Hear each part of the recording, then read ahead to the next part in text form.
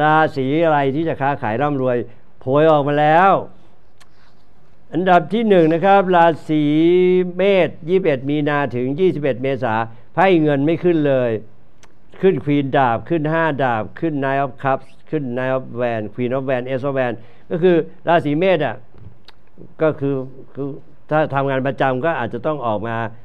ทำการค้าส่วนตัว แต่ให้เงินยังไม่ขึ้น ให้ชะลอไว้ก่อน อย่างที่บอกว่าเดือนพฤษภาการเงินถึงจะเริ่มดี ราศีพฤษภ22 เมษาถึง 21 พฤษภา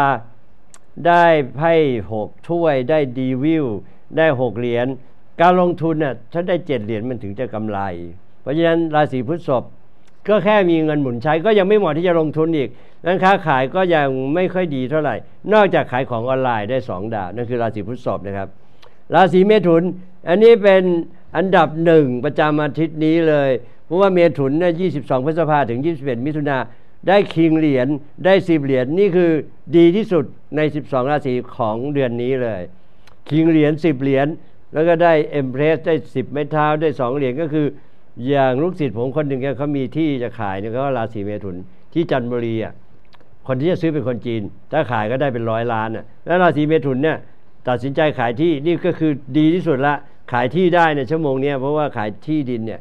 ขายยากมากถัดไปเวลาสีกรกฎ22 มิถุนาถึง 22 กรกฎาอันนี้ให้เงินไม่ขึ้น ก็จะเปลี่ยนจากจะขายของกินอะพอได้หน่อย แต่ว่าต้องทำใจว่าเดือนมกราดวงการเงินมันเงียบมากนะครับ แม้แต่ร้านขายของกินก็ยังลูกค้าน้อย ราศีสิงห์ยี่สามกรกฎาถึงยี่สามสิงหาได้สิบดาบ ขนาดมีเมียน้อยยังต้องเลิกกับราศีสิงห์อะแล้วไพ่การงานส่วนตัวไพ่เงินเนี่ยที่จะดีหน่อยก็คือย่านเขตอุตสาหกรรม เช่น นี่ขนาดสมุทรปราการเขายังบ่นเนี่ยว่าโรงงานเนี่ยย้ายฐานการผลิตไปถูกประเทศอื่น เพราะว่าตราบใดที่ประเทศไทยยังไม่มีการเลือกตั้งเนี่ยบริษัทต่างชาติเขาย้ายฐานการผลิต เพราะว่า insurance ไม่คุ้มครองนะครับท่านก็หวังว่าจะมีการเลือกตั้งในปีนี้ แต่เดือนกุมภาเนี่ยคงยังไม่มีก็อาจจะเลื่อนไปนั้นก็ราศีสิงห์ก็ ต้องใช้เงินให้อย่างประหยัด ราศีกันย์นะครับ 24 สิงหาถึง 23 กันยา ก็เป็นราศีที่สองที่มีดวงค้าขายทำมาค้าขึ้น ได้4 ไม้เท้า ได้ The Star ได้ Chariot ได้8 ดาบ ได้ Knight of Pentaclesแจ็คเหรียญเนี่ยคือเงินหมุนได้เป็นแสนนั่นก็เป็นราศีที่สองราศีกันที่ดวงการเงินดี อาจจะมีโชคเสี่ยงโชคได้ด้วยนะครับ ราศีตุล 24 กันยาถึง 23 ตุลา ได้ King of Cup ได้ Page of Swords ได้ Ace of Cup ได้ Seven of Wands ได้9ถ้วยได้4เหรียญ4เหรียญนี่ไม่พอที่จะทำการค้า ให้ประหยัดไปก่อนถัดมาพิจิก พิจิกคือ 24 ตุลาถึง 22 พฤศจิกาได้ Death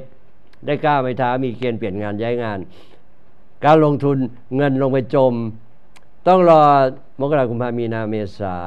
พฤษภาแหละถึงจะได้ The Sun นั้นราศีพิจิกช่วงนี้ก็ ที่ทำอยู่แล้วก็ขาดทุนเนี่ยนะบางอันต้องเลิกกิจการไปเลยถ้าราศีที่สามที่มีโชคคือราศีธนูนะครับท่านที่เกิดระหว่าง 23 พฤศจิกาถึง 21 ธันวา ได้ Temperance ได้ Queen เหรียญ Queen เหรียญกับแจ็คเหรียญถือว่าดีมาก ได้ Queen of Swords ได้ 2 ถ้วยได้ 3 ดาบ ราศีธนูมักจะมีโชคลาภฟลุกฟลุกเสมอ ซื้อลอตเตอรี่ไปด้วยกัน อันนี้เป็นสามราศีที่เฮงนะมีทวนราศีเมถุนแล้วได้ดีอันดับหนึ่งเพราะได้ King เหรียญกับสิบเหรียญ เมถุนคือ 22 พฤษภาถึง 21 มิถุนาถัดไปก็ราศีกันย์ 24 สิงหาถึง 23 กันยาได้แจ็คเหรียญแล้วก็ราศีธนูได้ควีนเหรียญราศีมังกร 22 ธันวาถึง 21 มกราได้เพซอฟแวนได้สิบดาบ ราศีมังกรนี่ดูมาสามอาทิตย์ติดกันแล้วนะว่า การลงทุนอะมีเปอร์เซ็นต์ขาดทุนสูงคือเขาไม่ควรลงทุนอะถ้าหุ้นส่วนก็มีสิทธิ์โดนโกงอะ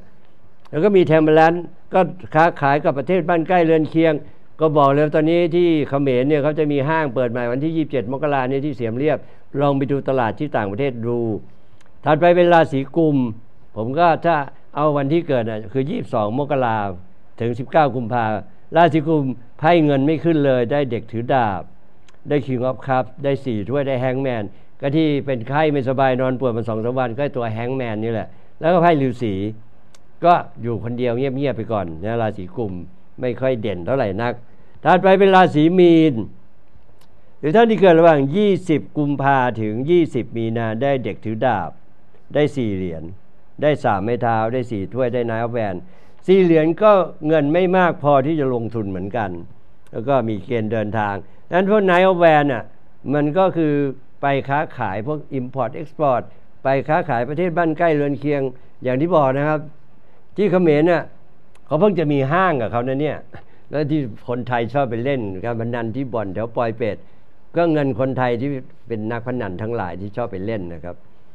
ก็เขามีเงินมาเปิดห้างได้คิดดูเขมรนี่กัมพูชานี่อยู่มาตั้งนาน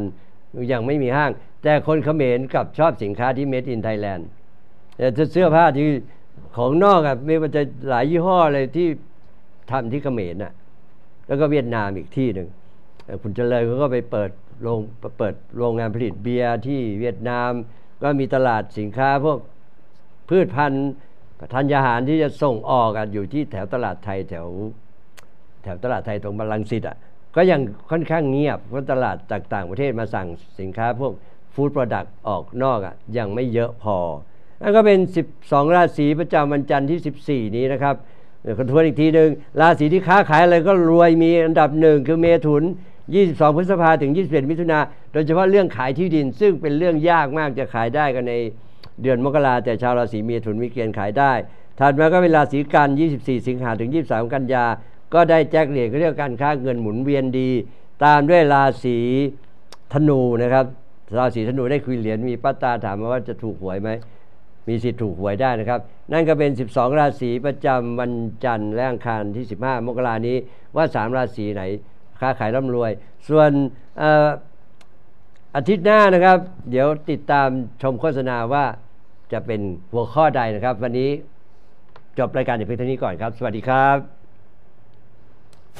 ท่านสามารถติดตามเคล็ดลับดี ๆ ได้ในรายการยิปซีคิงกับอาจารย์ขุนทองอัศนีที่ YouTube ช่องไทยไทยช n แนลอย่าลืมกดไลค์นะครับ